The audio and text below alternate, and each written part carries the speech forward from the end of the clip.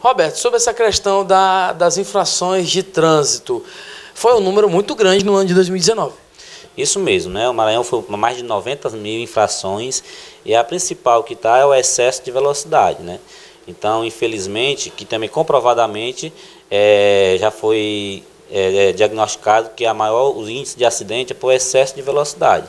Então, felizmente, os condutores de veículo insistem em trafegar em vias públicas acima da velocidade permitida esses, esses descuidados, vamos dizer assim, dos condutores acaba com certeza aumentando o número de acidentes e tudo isso movimenta vários e vários órgãos.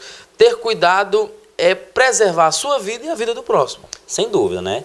Nós sabemos que as vias por si só já oferecem bastante risco em buracos, em curvas, e aí com, juntando com excesso de velocidade, isso aumenta os riscos tanto para os condutores de motocicleta, de carro, de carreta, de caminhão.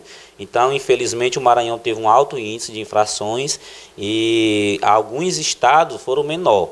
Nós temos aqui um exemplo, é, 79 mil foi só por velocidade acima de 20%, né? E de 20% a 50%, 9 mil, quase 10 mil infrações. Um outro número que aumentou bastante as infrações foram as multas de recibo, como é conhecida. São aquelas que o proprietário adquire um veículo, preenche o recibo e tem 30 dias para fazer a transferência.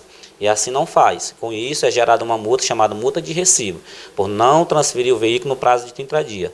Então também foi uma das que cresceu bastante no ano de 2009. Em torno de quanto custa uma multa, principalmente por excesso de velocidade e, e que tem chamado a atenção aí pelo número exorbitante? Olha, excesso de velocidade até 20%, ela é 130 reais. E aí ela vai aumentando de acordo com a velocidade. É até 50%, 195 reais, chegando aí até 880 reais se o, o infrator passar acima de 50% da que é permitido. Quer dizer que é um valor salgado para que o condutor possa é, efetuar o, o, o pagamento por uma infração que é tão simples de se resolver. Sem dúvida, né? Então, como eu falei aí, vai aumentando de acordo com a velocidade que ele passar. E com isso ele não vai conseguir licenciar, ou seja, receber o documento do seu veículo no ano seguinte sem ele pagar essas multas. Então vai ser obrigado a estar tá pagando todos os débitos para poder estar tá recebendo o documento do seu veículo. Então fica um alerta a todos os condutores, além de estar tá prevenindo acidente, também é uma economia para o seu bolso. Roberto, o Detran tem feito serviços é, é, é, é de, vamos dizer que de, de forma contínua durante o ano para tentar evitar esse tipo de infração.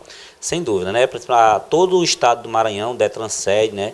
Foram às ruas, aos bares, conversando com a parte da educação para o trânsito. Aqui em Pedreira mesmo nós temos uma parceria grande com a Secretaria de Segurança e o DMTU de Pedreira e Trizeira do Vale. Com isso a gente já foi diversas vezes à entrada e saída da cidade, conversando com os condutores, pedindo para colocar os cintos de segurança e também respeitar o limite de velocidade mas infelizmente alguns condutores ainda insistem ainda em estar tá cometendo esse tipo de infração. Então fica um alerta aqui para todos, é, vamos dirigir com atenção, vamos respeitar os limites de velocidade.